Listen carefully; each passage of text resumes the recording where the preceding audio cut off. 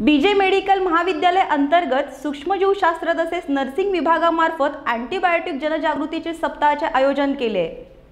यासाठी आज पुण्यात प्रभात फेरी काढण्यात आली आहे. प्रतिजैविके जनजागृती सप्ताहाचा एक भाग म्हणून प्रभात फेरी आज संपन्न झाली. यामध्ये पथनाट्याचा समावेश होता.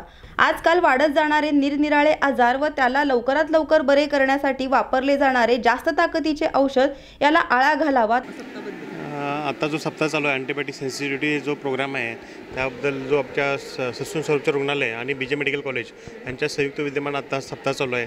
त्यामध्ये ह्यापूर्वीपासूनच आपल्या ससूनमध्ये आमचे बी जे मेडिकल कॉलेजची एक अँटीबायोटिक पॉल पॉलिसी आहे. त्यामध्ये जेवढा मॅक्झिमम अशी पॉलिसी महाराष्ट्रात कुठे नाही. एक पहिलं आमचं वैद्यकीय महाविद्यालय विद्यालय आणि ससून रुग्णालय तिथे ही पॉलिसी राबवली जाते. त्यामध्ये जेवढा शक्यतो क वापर कमी करता येईल तेवढा अँटीबायोटिक्सचा वापर कमी केला जातो ससून रुग्णालयामध्ये रुग्णसेवेसाठी आज महाराष्ट्रामध्ये एवढे सतरा मेडिकल कॉलेज आहेत जे डी एम आरच्या अधिपत्याखाली आहेत.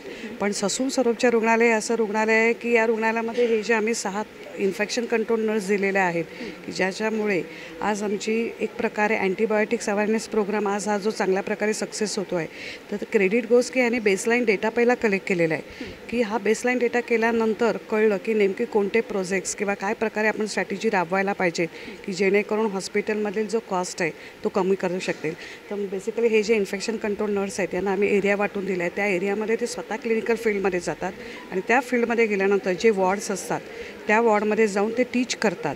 युनिव्हर्सल प्रिकॉशनरी मेजर्स त्याच्यानंतर कशाप्रकारे बायोमेडिकल वेस्ट मॅनेजमेंट आपण करू शकतो की जे आज जैविक कचरा निर्माण होतो तो जैविक कचऱ्याचं व्यवस्थापन करणं हे खूप महत्त्वाचं आहे. गरज असेल तरच आपण याचा वापर करावा असे मार्गदर्शन अधिष्ठाता श्री अजय चंदनवाले यांनी केलंय. आपला हा जो अँटीबायोटिक्स अवेअरनेस सप्ताह आहे हा अठरा अठरा नोव्हेंबर ते चोवीस नोव्हेंबरच्या दरम्यान बैजे शासकीय महाविद्यालय व तसेच बैजे नर्सिंग विद्यालय यांच्यातर्फे हा आयोजित करण्यात आला. याच्यामध्ये प्रामुख्याने आपल्याला समाजामध्ये अँटीबायोटिक्सचा जो गैरवापर केला जातो त्याच्यावर आपल्या आपल्याला ही जनजागृती आपण करत आहोत.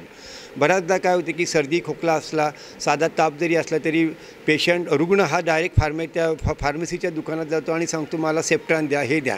तर याच्यावर कुठेतरी त्या लोकांना आपल्याला सांगायचं आहे की साधा ताप आला सर्दी आली तर बऱ्याचशा ह्या गोष्टीचे आजारी हे व्हायरल व्हायरस पा म्हणजे व्हायरल असतात व्हायरसपासून झालेले असतात. तर त्याच्यावर अँटीबायोटिक्स हा उपाय नाही. त्यासाठी जे काय साध्या गोळ्या घ्या तुम्ही पॅरासिटामॉल यासारखे. आणि त्याच्यामध्ये जर तुम्हाला जर काही जर तुम्हाला उपाय त्याच्यावर नाही झाला काही रिझल्ट आला नाही तर तुम्ही अँटीबायोटिकचा वापर हा फक्त डॉक्टरांच्या सल्ल्यानुसारच करावा.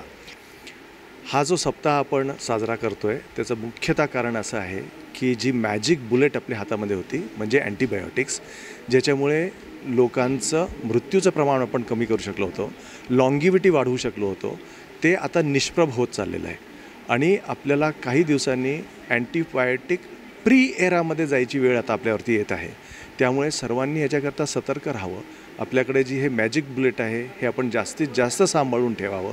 हे सर्वांना आपण सांगायचा प्रयत्न करतो आहे आणि हे जेव्हा आपण करू तेव्हा हा जो आपण ॲडव्हान्टेज आपल्याला मिळालेला आहे बॅक्टेरियांवरती अँटीबायोटिक्सने तो ॲडव्हान्टेज आपल्याकडे कॉन्स्टंटली राहील.